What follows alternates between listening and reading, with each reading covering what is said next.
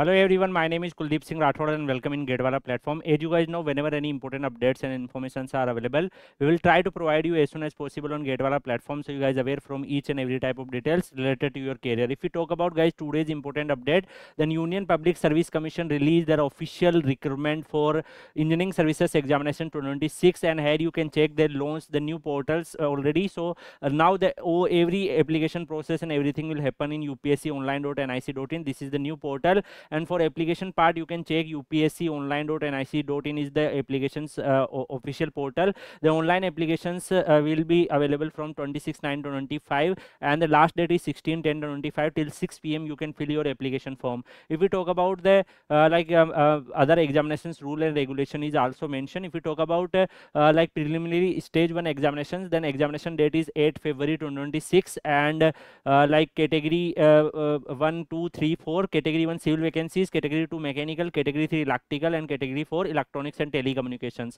Rest you can also observe civil engineering group a all the like uh, all the department mentioned which are going to recruit based on the engineering services uh, examinations. Similarly for mechanical group a b services and other posts are mentioned. Similarly for electrical and similarly for electronics. The branch wise vac vacancy distribution is not available. We are applying the rti and as soon as it available we will try to provide you the branch wise status also. The pre examination center uh, you need to choose out of these cities and the mains examinations are you need to choose out of these cities and rest there are like eligibility conditions and there are many other details are also available. So they, these are the departments uh, more detail like which number uh, in a ministry of railway uh, irms five departments are recruiting geological survey assistant executive engineer group are recruiting so every detail is mentioned here. If we talk about examination is scheduled age age 8 february is upsc calendar date so same 8 february they are conducting the examination date and uh, like uh, there are name and year of examinations, URN, roll number, name of candidates, and valid and active email ID, every detail they mention here. Rest, if we observe, there are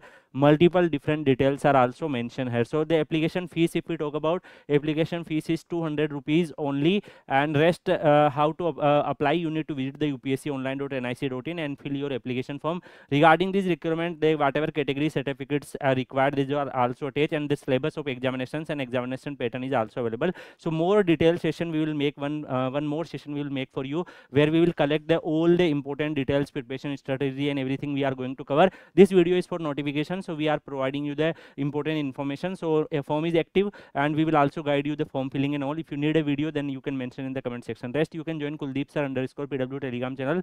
Thank you so much. Take care. Goodbye